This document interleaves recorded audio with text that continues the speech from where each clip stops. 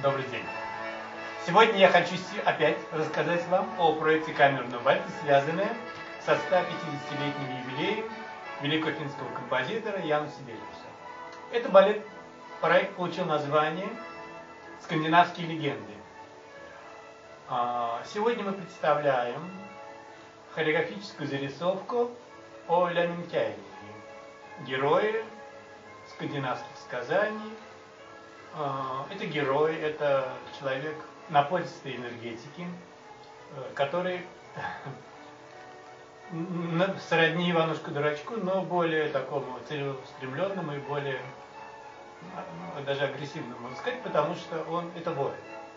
Если Иванушка Дурачок это просто как бы такой лентяй лоботряс, с одной стороны, с другой стороны, баловень судьбы, то этот и, и любимец девушек, женщин, и, и герой, и воин, и то есть более сильный, более плотный, более насыщенный образ.